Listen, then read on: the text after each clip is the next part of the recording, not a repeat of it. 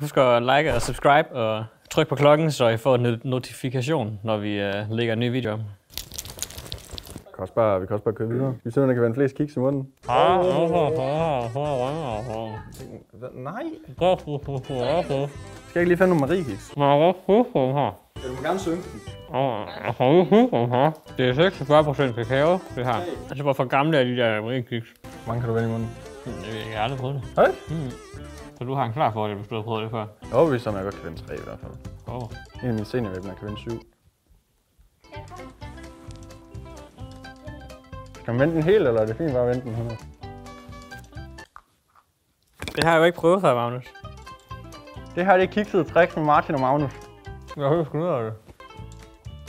Vi skal prøve at vende kiks i munden. Martin kan ikke finde ud af det. så det kan godt dreje den rundt. jeg kan med en.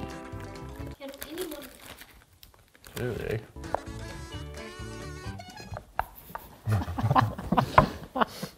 Hvis det er så kan jeg godt.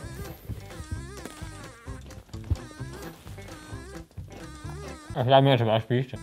Men du skal prøve at vende dem. Jeg kan ikke finde ud af det. Martin skal vende den her i munden først. Så skal Så der var lige tricks. Du kan jo trickset. Det hedder kiksede tricks. Det er jo tydeligt tricks, når man skal kunne noget for at gøre det. Nej. Nu ligger der kiks på gulvet. Ja, ja, ja, ja. Ja, det er godt, Martin. Wow. Altså, jeg tror også, mine de lå sådan forkert. Nej. Nej. Nå. Næste... Godt på. Næ- Tog du med to? Ja. Så prøver du med tre. Hvis du fuldender tre, så har du slået mig. Altså, hvordan i livet kan man gøre det her med syv? Det ved jeg ikke. Det er jo sådan her. Sygt. Shout-out til Ditte fra FDF Hals. Aha. Ja. Nej, det var jeg ikke. Åh, oh, nuller. Noller. Åh, oh, helvede. Hey. Go. Der har vi fire. Show me også. Tror du, jeg kan? Ja, ja, ja, nej. Jo, jo, jeg tror godt, du kan. Okay. Nej. Og for fast.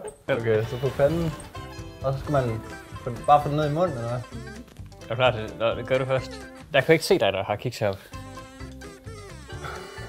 Det jo sådan en hund, der ikke må spise kiks.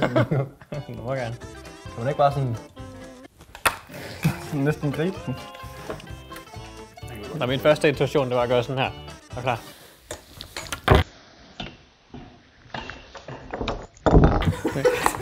Røg bagved. Det virkede overhovedet ikke. Det er ikke sådan noget med, at man skal ned på. Nu siger vi, du er. Røget eller sådan noget. Øjet og pinden.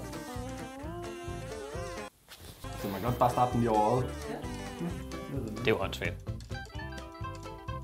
Og så skal... Hvad gør jeg nu? Ej. Hvorfor starter du midt på igen? Jeg ved ikke, jeg startede her med sådan. Ej, Magnus. Det var ikke min skyld. Så, så skal man have den ned på sagde du? Det er lige før jeg kan vente med øjet. Man skal sådan have fat med øjnene. Du kommer til at overdo it. Nej. Oj, åh! Oh! Imponerende. Så prøver du det igen. Sygt trick. Er det overhovedet? Mm. Og så hvad? Du skruer din pose under øjnene. Ja, du er ikke til det her, Magnus. Har vi flere kiks og tricks? Det her, det var øh, den første video af Kiksede Tricks med øh, Magnus og Martin. Kommer der flere? Hvis I kunne tænke jer at se flere Kiksede Tricks, så øh, giv gerne en uh, thumbs up. Der må også gerne være tricks med andre overspil. Husk at like og subscribe, og øh, tak for nu. Ej, vi har ikke lavet en intro. Jo jo, hej hej. Har du lavet en intro? Ja, ja. Nej, du lavet... Ja, ja, vi tekster det bare.